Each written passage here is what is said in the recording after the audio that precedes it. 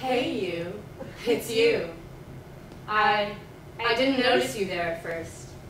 I'm actually glad we're running into each other because there's something I've been meaning to ask you. Or rather, I have something I've been wanting to tell you.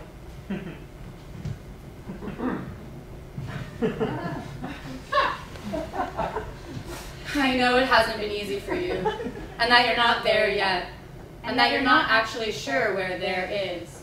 And most days, you're just walking in a snowy field, a vast expanse stretching seamlessly in all directions, with nothing on the horizon but more of the same. And you've been walking for so long, and your feet are so tired, and you are so, so, so, so, so, so, so so scared.